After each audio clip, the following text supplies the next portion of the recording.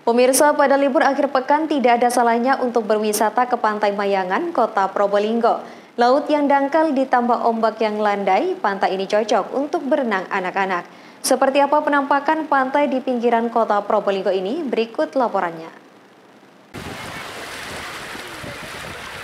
Jika Anda dan keluarga ingin berlibur ke pantai, mungkin Pantai Mayangan di Kota Probolinggo perlu menjadi agenda untuk dikunjungi. Pantai ini terletak di sisi utara Kota Probolinggo atau hanya berjarak sekitar 3 km dari pusat kota, tepatnya berada di area Pelabuhan Perikanan Mayangan. Saat libur akhir pekan atau sekedar jalan-jalan, pantai ini cocok untuk arena berenang anak-anak. Selain lautnya yang dangkal, juga ombaknya terbilang landai. Pasir berwarna hitam dengan tekstur yang lembut menambah anak-anak betah berlama-lama di pantai untuk sekedar bermain pasir maupun mandi.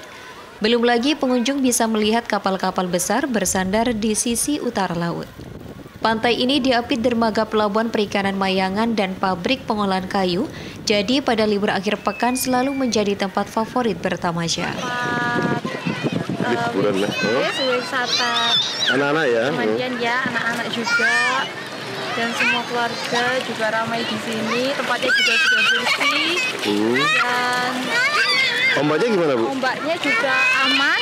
Untuk anak-anak aman ya? Membahayakan dia untuk anak-anak kecil tidak terlalu membahayakan juga. Hmm. Istrinya happy.